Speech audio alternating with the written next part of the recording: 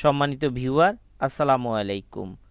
আপনাদের জন্য নতুন এক এপিসোডে নতুন এক ভিডিও নিয়ে আবারও এনএস আইটি সলিউশনের পক্ষ থেকে হাজির হয়েছি আমি মোহাম্মদ নাসির হোসেন।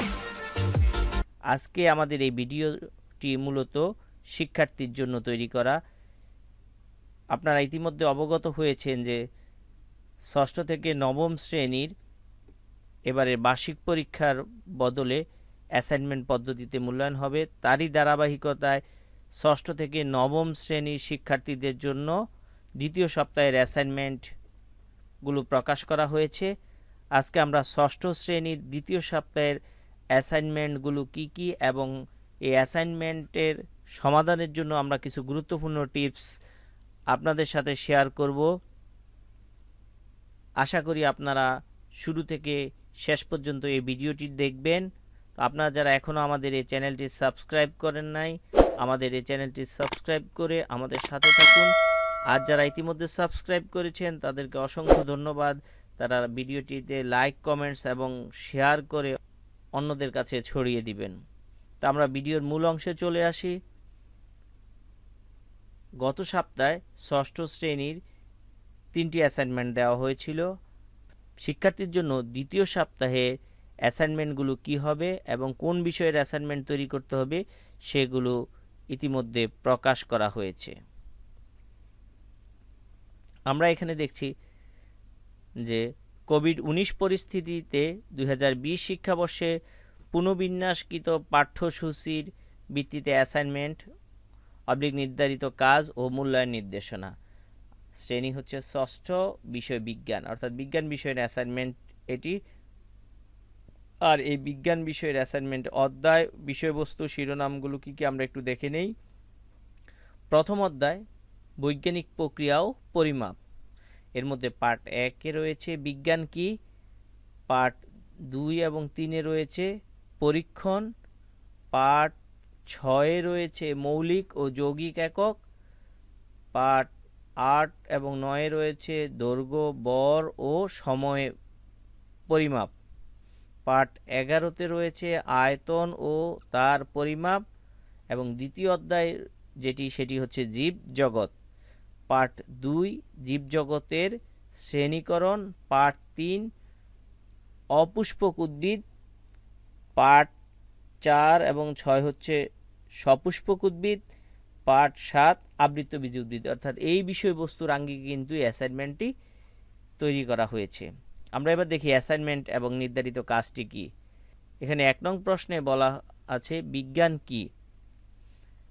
তো শিক্ষার্থী বন্ধুরা, তোমরা কিন্তু জানো যে বিজ্ঞান কিন্তু এক ধরনের জ্ঞান। আমরা এই প্রশ্নের আঙ্গিকে আমরা কিন্তু যে উত্তরটি লিখতে হবে, এটি মূলত আমাদের মেন বই কিন্তু সুন্দর করে দেওয়া আছে যে বিজ্ঞান হলো প্রকৃতি ও প্রাকৃতিক ঘটনা সম্পর্কে জ্ঞান। আর এই বিষয়টাকে তোমরা কিন্তু নির্ভুল তথ্য কিন্তু মেন বই থেকে সংগ্রহ করে তোমাদের অ্যাসাইনমেন্টে লিখতে হবে।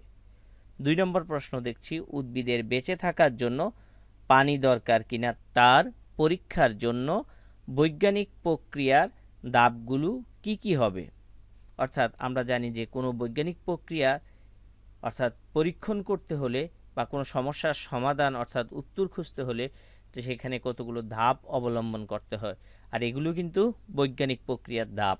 এই ধাপগুলো তোমাকে ধারাবাহিকভাবে সম্পূর্ণ করার পরেই কিন্তু তুমি সমস্যার সমাধান অর্থাৎ ফল প্রকাশ করতে পারবে। আর এই ক্ষেত্রে আমাদের মেন বইয়ে যে মানে পরীক্ষণটি দেওয়া আছে, আমরা তোমাদেরকে বলব, তোমরা যদি মেন বই দেখো তাহলে এই উত্তরটা সরাসরি তোমরা মেন বইয়ের মধ্যেই পাবে এবং এখানে ধাপগুলো স্পষ্ট করে পর্যায়ক্রমে দেওয়া আছে। তিন নম্বর প্রশ্ন, তোমার একটি বইয়ের দৈর্ঘ্য বিশ সেন্টিমিটার। প্রস্থ পনেরো সেন্টিমিটার এবং উচ্চতা এক সেন্টিমিটার। এরূপ পঞ্চাশটি বইয়ের আয়তন কত? এখানে তোমাকে যে গাণিতিক সমস্যাটি করতে হবে, সেখানে তুমি মানে সাজানোর জন্য যে কৌশলটি, সেটি হচ্ছে তুমি এখানে তিন নং প্রশ্নের জন্য লিখতে পারো যে দৈর্ঘ্য কত সেন্টিমিটার দেওয়া আছে, প্রস্থ কত সেন্টিমিটার দেওয়া আছে, উচ্চতা কত সেন্টিমিটার দেওয়া আছে, এই মানগুলো তুমি উপরে লিখতে পারো। তারপরে যেটা করবে যে তুমি এখানে একটা সূত্র প্রয়োগ করতে পারো। সেই সূত্রটা হচ্ছে যে আয়তন ইকুয়াল টু ক্ষেত্রফল গুণন উচ্চতা। এর পরের লাইন যদি তুমি এটাকে ভাঙাও, তাহলে ক্ষেত্রফলকে ভাঙালে কিন্তু দৈর্ঘ্য এবং প্রস্থ পাওয়া যায়। তাহলে তুমি এই লাইনটাতে পাবে দৈর্ঘ্য, প্রস্থ এবং উচ্চতা। এই গাণিতিক সমস্যার মধ্যে যে মানগুলো দেওয়া আছে, দৈর্ঘ্য, প্রস্থ এবং উচ্চতার, এই থেকে তুমি কিন্তু আয়তন বের করতে পারবে। এটা হবে একটি বইয়ের আয়তন। আর এরূপ তোমাকে পঞ্চাশটি বইয়ের আয়তন বের করলে কিন্তু তিন নং প্রশ্নের সমাধান তৈরি হয়ে যাবে। আর চার নং প্রশ্নে যেটা বলা আছে, আধুনিক শ্রেণীকরণ পদ্ধতিতে অ্যামিবা ও মাশরুম কোন রাজ্যের অন্তর্গত এদের বৈশিষ্ট্য লিখো। তোমরা তোমাদের মেন বইতে যদি দেখো, সেখানে দেখবে যে জীবজগতে যে আধুনিক শ্রেণীবিন্যাস, মার্গুলিস এবং হুইটেকার যেটি প্রণয়ন করেছিলেন, সেটি পাঁচ রাজ্য বিশিষ্ট শ্রেণীবিন্যাস। অর্থাৎ জীবজগৎকে পাঁচটি রাজ্যে ভাগ করা হয়েছে। এখানে এই পাঁচটি রাজ্যের মধ্যে অ্যামিবা এবং মাশরুম কোন রাজ্য?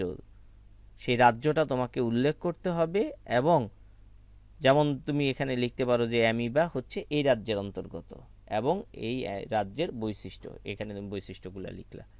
মাশরুম, তুমি লিখতে পারো যে মাশরুম এই রাজ্যের অন্তর্গত। সেখানে তুমি মাশরুম যে রাজ্যের অন্তর্গত তুমি সেখানে সেই রাজ্যের বৈশিষ্ট্যগুলো লিখে দিবা। তাহলে তোমার চার নং প্রশ্নের উত্তর মানে দেওয়া হয়ে যাবে। এখানে আমরা পাঁচ নং প্রশ্নে কিছু উদ্ভিদের নাম দেখতে পাচ্ছি, যে সাইকাস সুপারি গাছ মশ, কাঁঠাল এবং সরিষা গাছ। এখানে প্রত্যেকটি উদ্ভিদ তোমাকে মানে যে ক্যাটাগরি করতে হবে, তুমি এখানে যদি খুঁজে দেখো সপুষ্পক উদ্ভিদ রয়েছে অপুষ্পক উদ্ভিদ রয়েছে, এখানে আবৃত্তবীজী উদ্ভিদ রয়েছে নগ্নবীজী উদ্ভিদ রয়েছে, এদেরকে তুমি ভাগ করে করে দেখবে যে এটা কোন ভাগে পড়ে এবং তাদের বৈশিষ্ট্য সেখানে তোমাকে লিখতে হবে। তাহলে শিক্ষার্থী বন্ধুরা, তোমরা কিন্তু এই মানে তোমাদের মেন বইয়ের সহযোগিতা নিয়েই তোমরা কিন্তু এই অ্যাসাইনমেন্টের মানে বিজ্ঞানের যে অ্যাসাইনমেন্ট সেটি সহজেই তুমি সমাপ্ত করতে পারবে। এর জন্য তোমাকে আর অন্য কোনো বই বা নোট বা গাইড কিছুই ফলো করতে হবে না। তোমার সম্পূর্ণ মেন বইয়ের সহযোগিতায় কিন্তু তুমি তোমার অ্যাসাইনমেন্টের কাজটি সম্পূর্ণ করবে। আমরা এবার দেখছি যে ষষ্ঠ শ্রেণির তথ্য যোগাযোগ প্রযুক্তি। এখানে তথ্য যোগাযোগ প্রযুক্তির যে বিষয়বস্তু, অর্থাৎ প্রথম অধ্যায়ে পার্ট চার, পাঁচ, ছয়, তথ্য ও যোগাযোগ প্রযুক্তির ব্যবহার।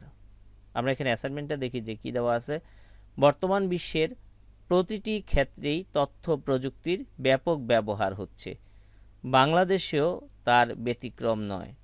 তথ্য ও যোগাযোগ প্রযুক্তির কোথায় কোথায় ব্যবহার করা যায় বর্ণনা করো।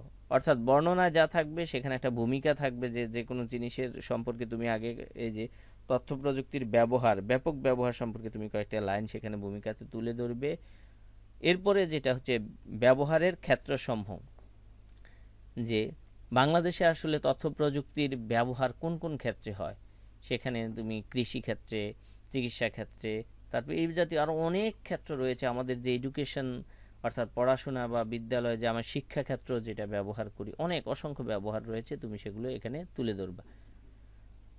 প্রযুক্তির ব্যবহারের সুবিধাসমূহ এবং এই যে আমরা প্রযুক্তি তথ্য প্রযুক্তি ব্যবহার করি, আসলে এটার কি কি সুবিধা আমরা পাচ্ছি? যে আমাদের সময় সেভ হচ্ছে, আমাদের অর্থ সাশ্রয় হচ্ছে, আমরা অনেক কাজ অনায়াসে করতে পারছি। এই ধরনের বহু সুবিধা রয়েছে যেগুলো তুমি চিন্তা করেই তুমি মানে লিখতে পারবা। উপসংহার, সর্বশেষ তোমাকে যে ইতি কথা অর্থাৎ এই যে তুমি যে কথাগুলো লিখবা বা এই যে তথ্য প্রযুক্তির সম্পর্কে, তথ্য প্রযুক্তির ব্যবহার সম্পর্কে বাংলাদেশ কতটুকু অগ্রসর হয়েছে, কতটুকু অ্যাডভান্টেজ পাচ্ছে, এই বিষয়ের সর্বোপরি তুমি মুদ্রা কথাটা কিন্তু এখানে উল্লেখ করবে। আমরা সর্বশেষ যে অ্যাসাইনমেন্টটি দেখছি, সেটি হচ্ছে ষষ্ঠ শ্রেণির ইসলাম ও নৈতিক শিক্ষার।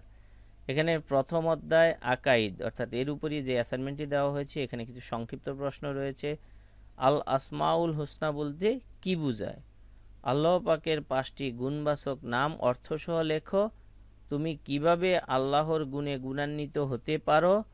দুনিয়া আখিরাতের শস্য ক্ষেত ব্যাখ্যা করা। প্রশ্নগুলোর উত্তর কিন্তু তুমি তোমার মেইন বই থেকে সংগ্রহ করতে পারবে। আশা করি তোমরা আজকের এই ভিডিওটি দেখে তোমরা ষষ্ঠ শ্রেণির যে সকল শিক্ষার্থীরা আছো, তোমাদের এই দ্বিতীয় সপ্তাহের অ্যাসাইনমেন্ট তৈরি করতে কোনো রকম অসুবিধা হবে না।